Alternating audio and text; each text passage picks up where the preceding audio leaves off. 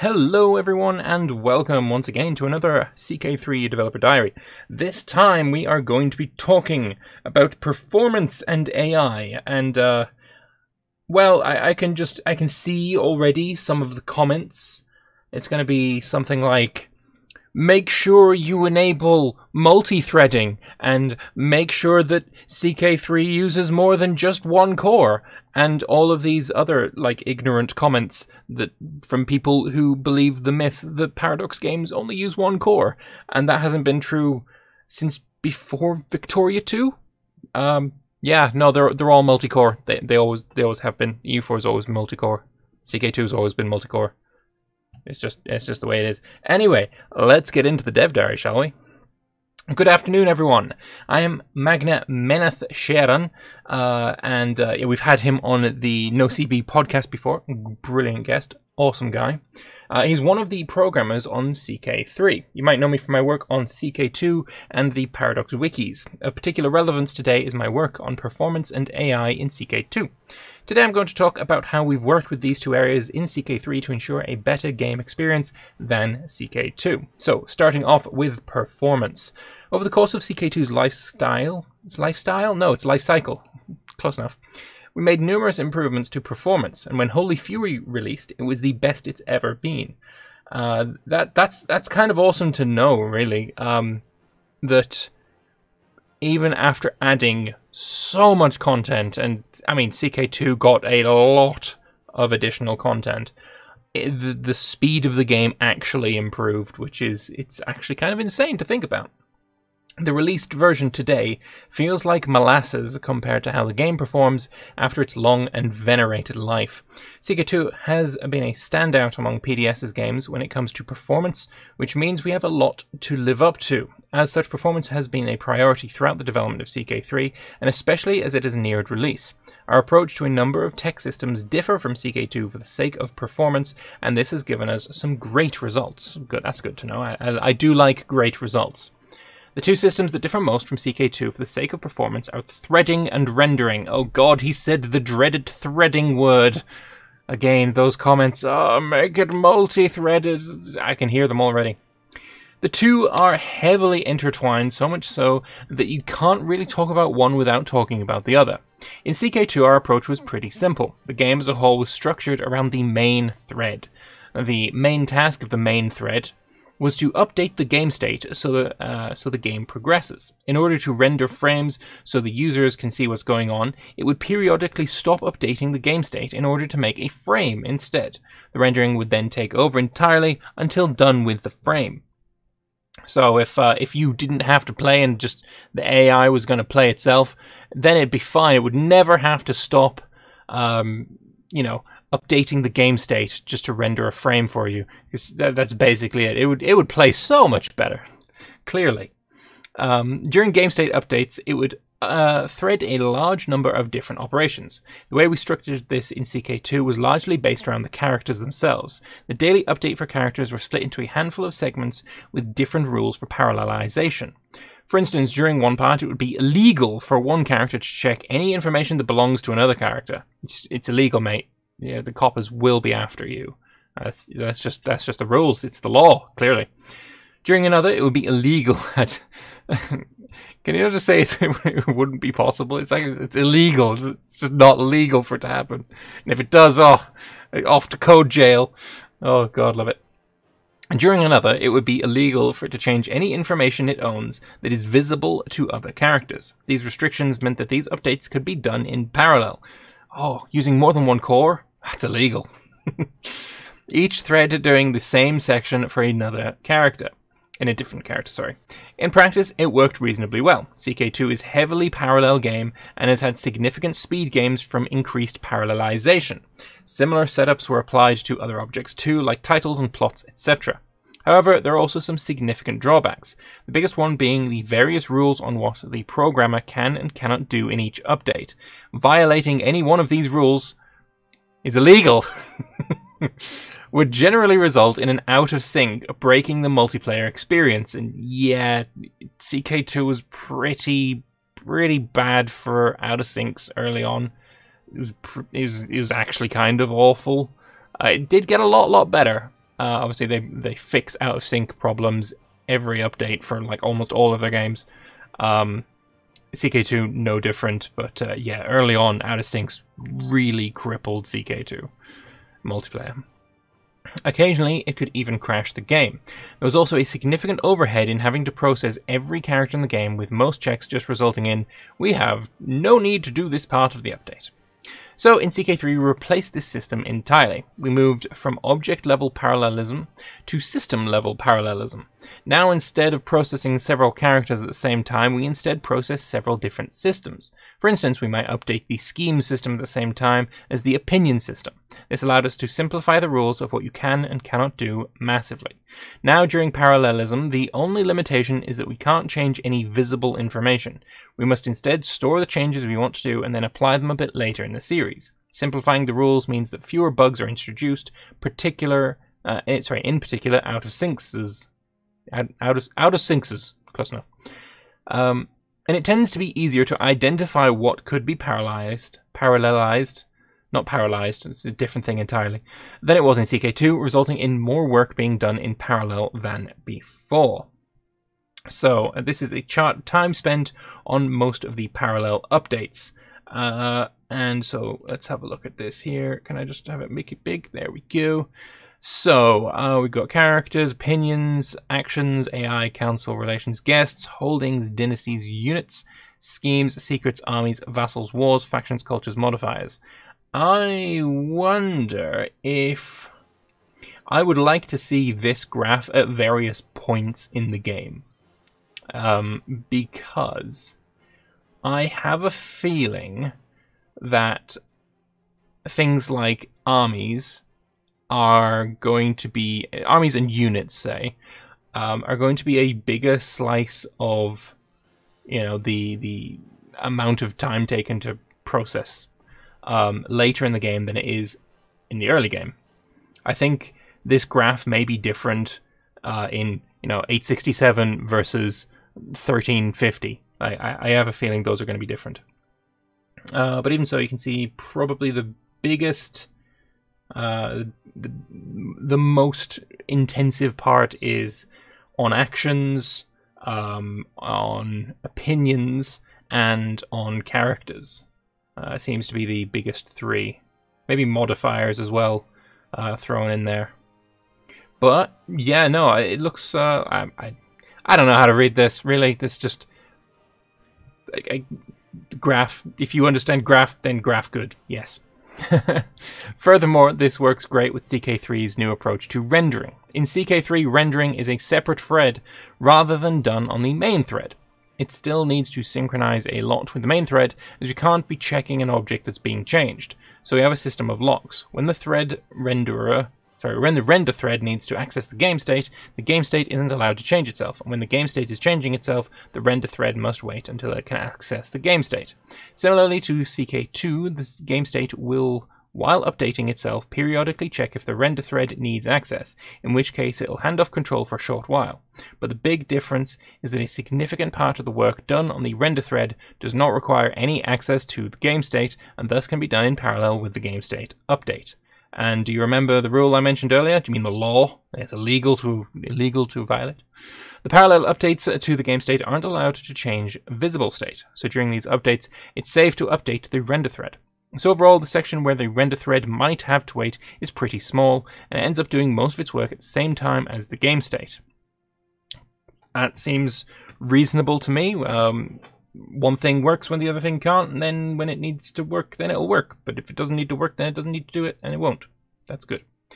No more of this. Um, we have no need to do this part of the update. That that seems like a getting rid of those is is probably going to be very good for the game.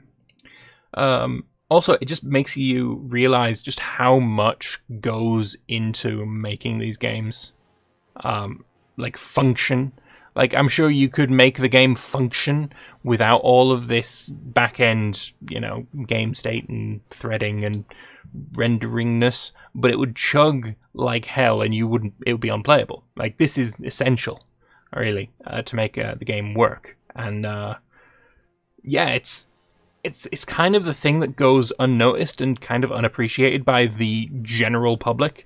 It's it's it's like and I think I've made this analogy before, but it's like CGI in movies, right? When it's done well, it's invisible. Um, and you're you're not instantly like, oh, that's CGI. When it's done well, it's invisible. It's same in here. When this kind of optimization is done well, it's invisible. It's only when it's done badly that it jumps out at you and it's like, oh, the, this game is not optimized. It's only when it's uh, done badly that you realize that it's a thing at all. So yeah, no, this is looking good. Um, nice. Uh, overall, these changes have meant that CK3 has better thread utilization than CK2, a more stable frame rate, and it's harder for programmers to make threading mistakes that lead to bugs, out of syncs, and crashes good. Uh, for a point of comparison, I did a quick test on my machine comparing CK2 and CK3. I simply let the game run at full speed for a minute and compared the frame rate and how far the game progressed. Both games got equally far in, starting in September 1066, they both got to April 1069. However, CK3's frame rate was much higher and more stable than CK2's. Considering CK3's far better graphics, these results are exactly what I was hoping for. Let's take a look at the difference that threading makes. I set up a simple test. I ran the game for one minute on my machine at max speed, first with the threading fully enabled, then with threading disabled. You can see for yourself below. Left is with threading, right is without. All right, let's uh, pop this back to the beginning, and you can you can see what I've been watching. Um, but anyway, let's let's have this open. Can I do full screen? No, apparently not. But I wanna, so let's do that. So, um, it looks like the is the red bar frame rate. Oh God, yeah, the the difference there is insane, and uh, you can see at the bottom of the screen the date that's running incredibly quickly. I'd love to see what kind of um, what kind of machine he's got because that is running really nicely. Let's have a look when it goes over January and see if there's much of a slowdown at all. There's a little bit of one, but it does end very, very quickly. It does end incredibly quickly. I also want to see how much it is on um, the unthreaded right-hand side.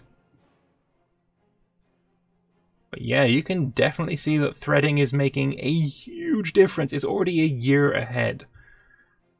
Uh, almost coming up to January, and those are, actually wasn't that as much of a pause as I was expecting.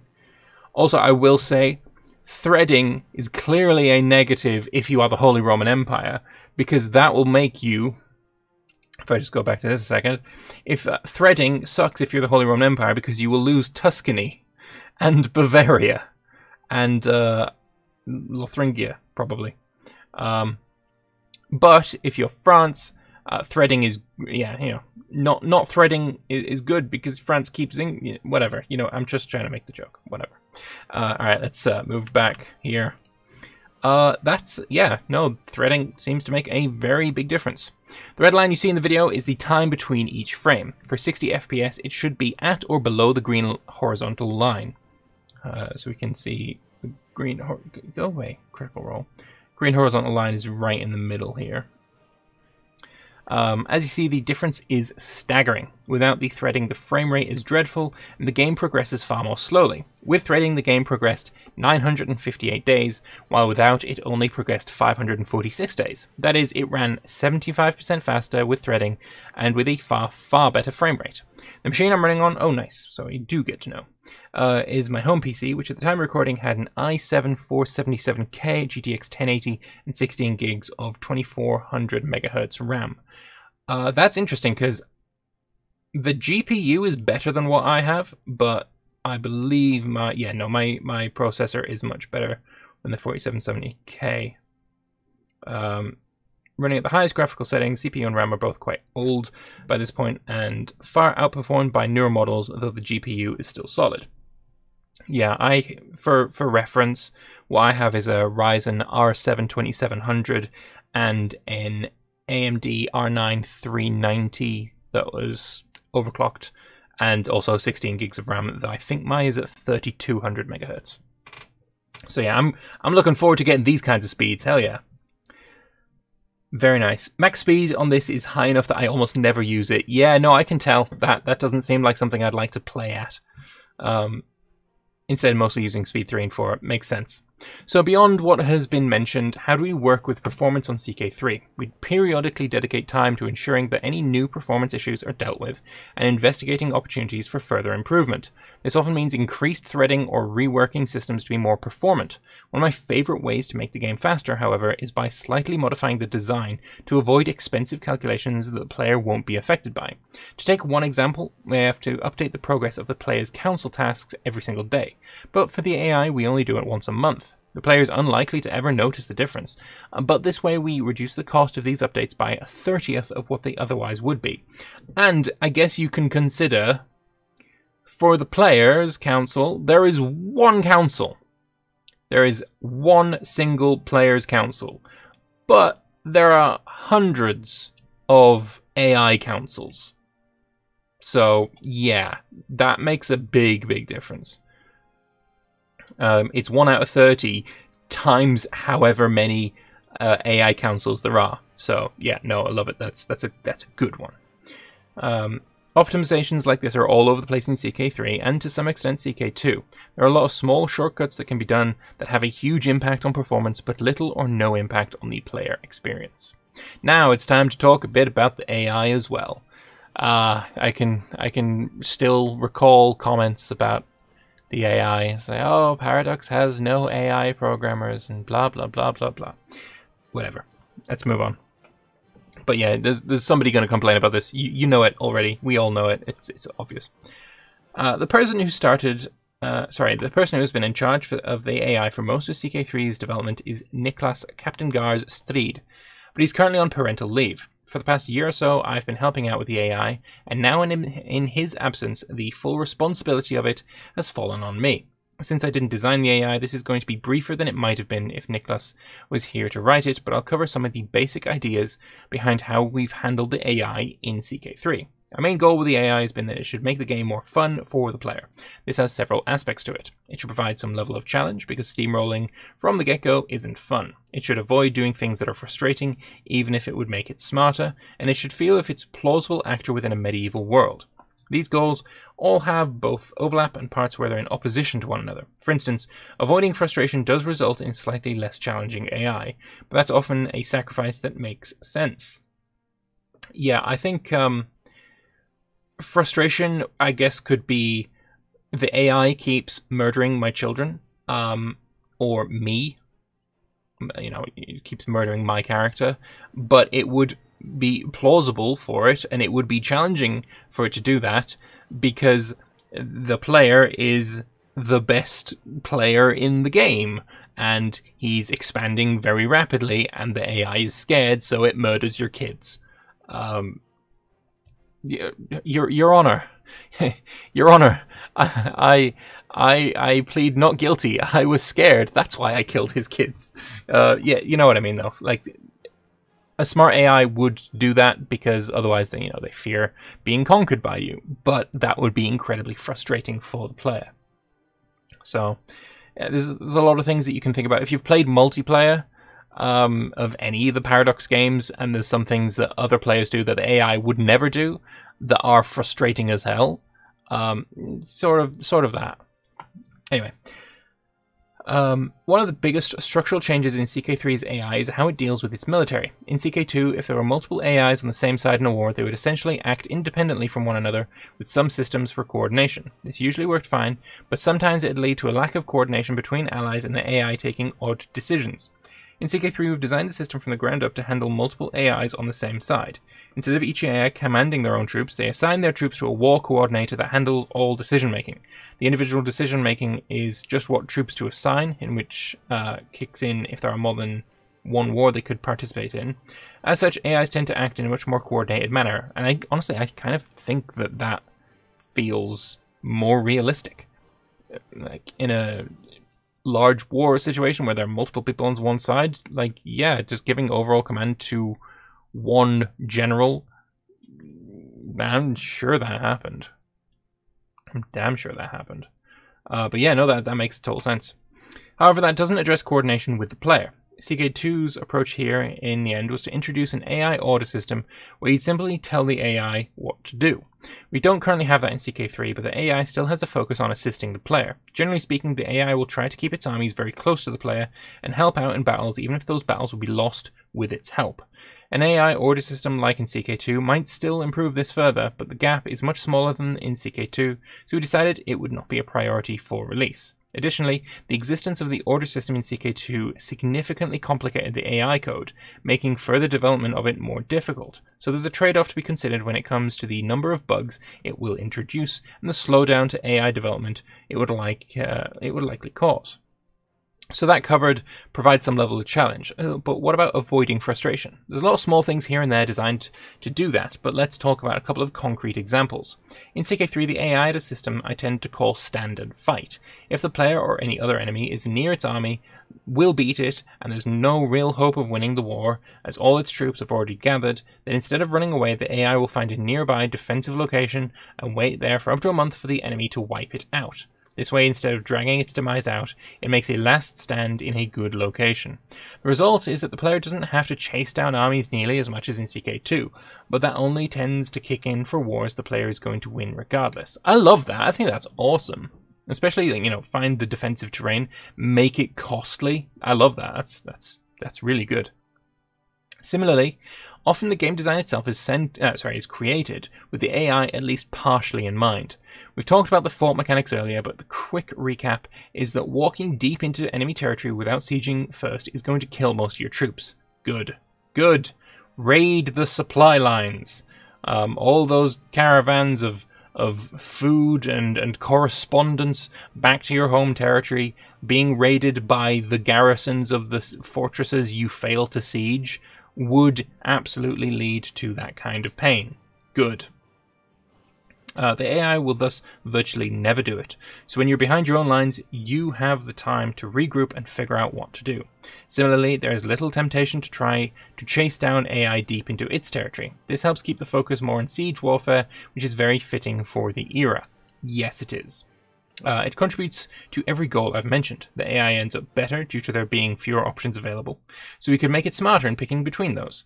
The player gets less frustrated, and it emphasizes a historical aspect of the era, while avoiding silly chases halfway around the world. Good. Now, that's been a whole lot of talk about military AI. What about the rest of it? The overall approach there is generally been pretty similar to CK2. Though rebuilt from scratch, the AI will periodically check a variety of possible actions, and then take them if they make sense. There's some randomization, and the AI personality affects a variety of actions, to ensure that the game feels alive rather than deterministic. More of the AI can be modded than in CK2, as the interaction system has far less hard coding. There's still parts that are hard coded, such as actions that aren't interactions, but overall it should be possible to influence a bit more of the AI than in CK2. That sounds good. Reduced hardcoding has also meant that balancing the AI is easier for us than in CK2, as a programmer doesn't always have to be involved, especially once we get feedback from a large player base after release. This and various architectural improvements in the code compared to CK2 should make iterating on the AI easier than before. Huge parts of what other characters do is also handled by events and so on to a greater extent. Um, yeah, no, I'm I'm definitely happy than that. Uh, especially you know, being able to mod the AI is awesome. Like modders should have as much you know freedom as possible because mods really do extend the life cycle of a game significantly, especially for someone like me who just fucking loves mods. So yeah, no, yeah, I'll I'll definitely take you know less hard coding uh, for sure. It's great. Generally speaking, the goal of non-military AI is to make the world feel alive. This has occasionally meant needing some restrictions to ensure the player doesn't get too overwhelmed. For instance, we've had to run, uh, sorry, we've had to on numerous occasions restrict seduction against the player so they don't get absolutely spammed if they happen to play one of the few female rulers around at game start. Overall, the AI should in many ways feel similar to in CK2, with more of a focus on making the best possible experience for the player. After release, it should be easier for us to further improve on the AI than it was in CK2. Ooh, ooh that looks tasty.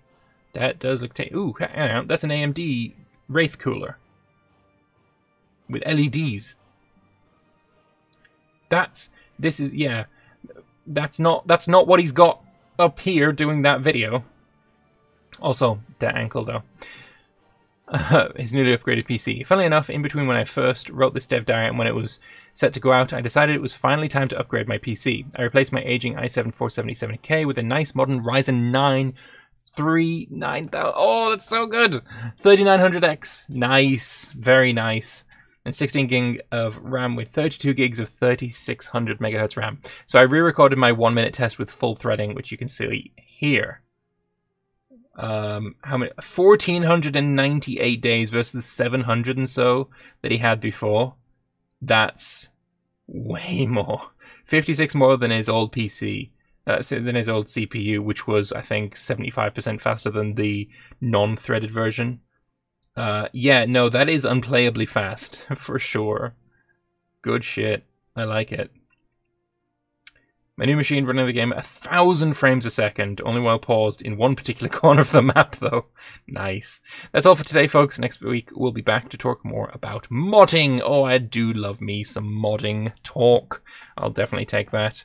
All right, well, let's pause that so it doesn't keep going. And uh, yeah, let's have a look into the uh, forums because I'm sure there are some comments to read from devs. Not that one, though. There we go. So, all very cool stuff. Any idea how fast this compares to CK2? Uh, on his specific machine before the upgrade, CK2 is about as fast as CK3, but with worse frame rate and more stuttering. Uh, he hasn't tried it after upgrading though. Late game slowdown, however, I'm relatively sure is less than in CK2. That's good to know. Um, the part about threading, and I don't know what frame rate made me feel incredibly dumb. If in summary, in if in summary it means more fluid game, in, I'm definitely in for sure. You should have tried to test the game on machines that are below even an i5. I'm sorry. Look, Inspector, we are in the middle of a pandemic, and a lot of uh, Paradox staff are currently at home. Um, said he tested it on his home machine because he was working from home. Is he supposed to go and purchase a potato just so he can test the game for you? Paradox Studios have a lot of machines, or rather, it has lots of components to go in uh, machines to test the game. But when they're all working from home, it's not feasible to, you know, go to the office just to test the game, just to do a dev diary. I'm sorry, upgrade your upgrade your potato. Yes, people with potatoes should probably be able to play the game if their potatoes meet the minimum specification of the game. But like, you should have tried to test the game on machines that blow an i5. I'm sorry, Meneth is being far too kind to you by even responding to you. Go away. Yeah, the game has been tested on i3s. When at the office. Like, he did this test on his fucking home PC. Come on now. There. What do you mean by threading on and off? Is it hyperthreading activated in the BIOS? Forcing the game's task uh, to only use a single thread. This effectively reduces the game down to just two threads, the game state thread and the render thread.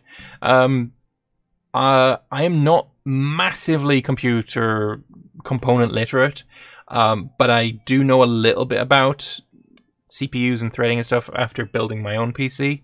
Um, I know my own CPU, the Ryzen 7 2700, is 16 core, 32 threads. I think I'm getting that right. It's like double the amount of cores you've got. So he's basically, if I'm right about that, I might be wrong. I might be misremembering something or getting threading mixed up with something else. Um, but as far as I can remember, each core can have two threads. Um, again, might be wrong. Disclaimer. Um, so he's basically using half a core, if I'm right which I might not be. Just again, I might be wrong. Anyway, moving on. Um, this effectively reduces the game to using two threads, game state thread, and the render thread. All right, so maybe he's using just a full. He's using one core to do it. All right. The traits AI have in CK2 gave him certain hidden values. Um, so it's basically the same where traits give values like this. If so, what are the hidden values the AI has now? It's pretty similar. It doesn't quite map one to one to CK2, but the idea is the same. The idea, the AI personality being displayed in the character view helps make it a bit more obvious. So, what will the AI do after one month? Uh, and actually, it's not that dumb because standing on defensive terrain might be better than trying to run away and getting caught in bad terrain. Yeah, no, I totally think that that's definitely fair. After a month, it'll go back to business as usual since we don't want it appearing brain dead. There's a cooldown of three months before it can attempt to stand and fight again. I've told the AI that when they're in defensive war and outnumbered, it's not their job to send their troops on the offensive, because in CK2 the AI had very weird priorities in these cases. No, I don't. I disagree with that, because sometimes the best way to prevent, you know, your country from being raided and sacked and sieged is to go and raid and sack and siege the enemy, because then they don't want their country being raided and sacked and sieged, and they'll come home and de-raid, de-sack, and de-siege. Yeah. Uh, the circumstances where I'll do something silly will differ, so there might be some cases where it does worse. Yeah, I mean, just sometimes better, sometimes worse.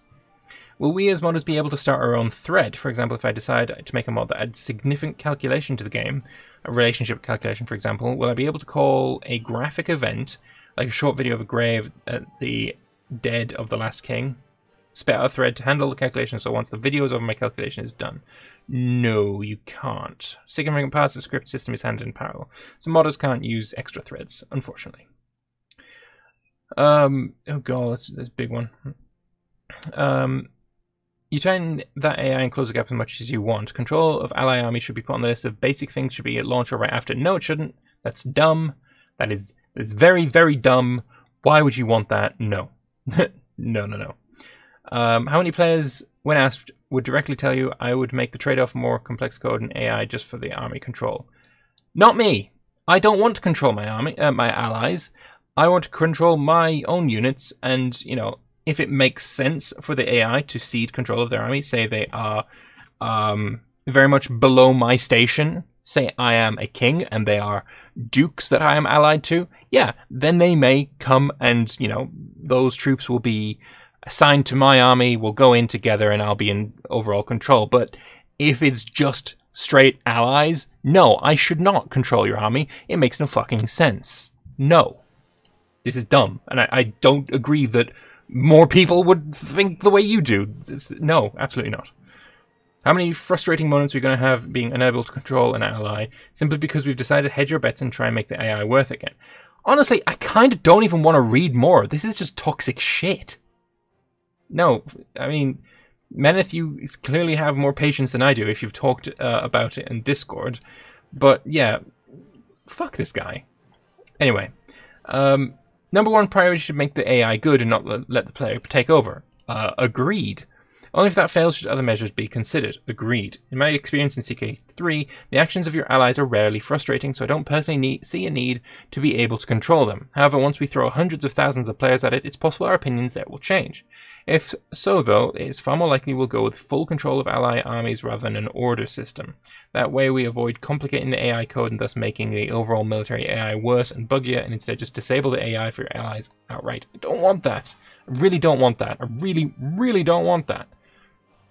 If it makes sense, like I said, if I'm the king and you know I'm allied to dukes, not my vassals, but like literally just allied to dukes, then yeah, they totally could you know give me control of their armies or I'd be able to control them. But if I'm uh, if I'm a duke and I'm allied to a king and it's a situation like here where you know you want to take control of the allies' armies, that's gonna feel fucking stupid. I don't want that at all. Uh, anyway, how much does the GPU have to say for performance? Um, GPU performance can be a bit odd. Usually the impact is pretty minimal as long as the, uh, it's powerful enough to maintain 60 FPS, and then gets a bigger and bigger impact on tick speed as it gets worse than that. Going beyond what's needed for 60 FPS does tend to speed the game up a bit, but it's less of a difference than a CPU makes. Yeah, no, that makes sense to me.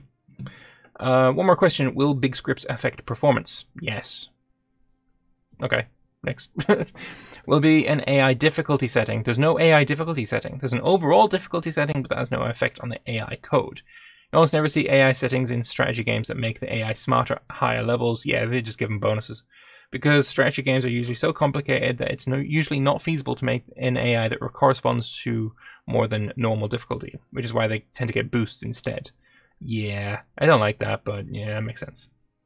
What have been the disadvantages of having the rendering done on the main thread and the game state management in a sub-thread? Uh, thread that handles the UI updating tells the renderer thread to talk to the GPU, so we don't have run uh, we don't run into any issues there. What I take away from the dev diary is that CK3 will most likely run even faster than CK2 on most systems. Is that correct?